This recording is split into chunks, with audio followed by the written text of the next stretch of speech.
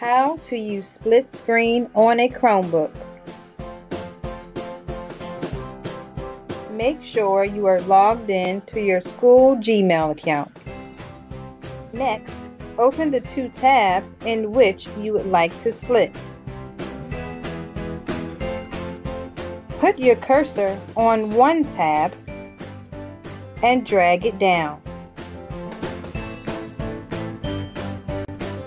Next, locate the Alt key and bracket on your keyboard.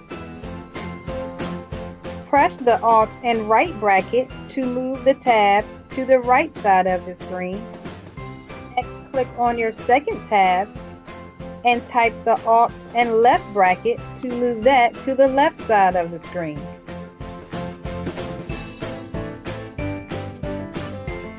You should now have a split screen with two tabs showing on each side.